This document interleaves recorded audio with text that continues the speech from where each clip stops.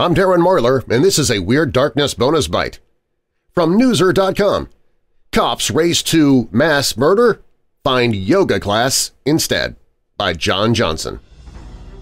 The horrified dog walkers meant well, but when they called police to report what appeared to be a ritual mass murder, the responding officers found only a yoga class in session. It seems the two dog walkers peered inside the windows of the Seascape Cafe in Lincolnshire, England on Wednesday night and saw bodies on the ground and their apparent murderer walking among them.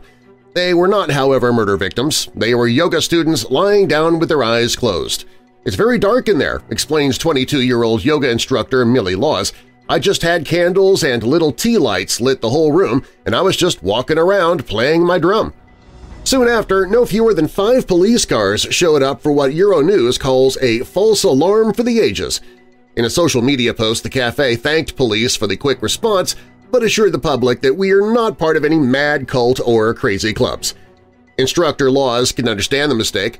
I guess from the outside view it could look like that because they're all really still, very nice and relaxed. I'm sure their imagination was running wild with what was going on. Find the link to the original story in the show notes, and find more strange, funny, or disturbing news in the Weird News and blog at WeirdDarkness.com. I do hear, though, that if you don't stretch first, yoga can be murder.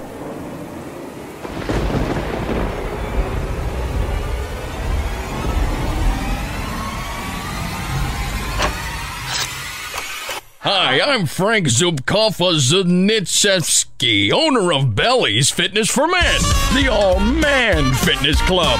At Belly's Fitness for Men, we don't make you get in touch with your feminine side by prancing around doing aerobics, no. And all the barbells in our weight training area are labeled 10 to 20 pounds heavier than they actually are. That way, even your manly pride gets built up.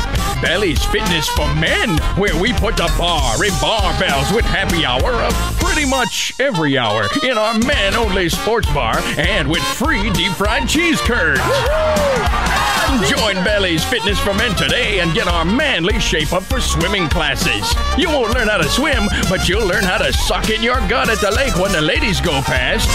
So remember, if you're looking for a place where testosterone is still the king, it's Belly's Fitness for Men, where we put the gym in gymnasium. You make your wife wonder where you've been when you join Belly's Fitness for Men.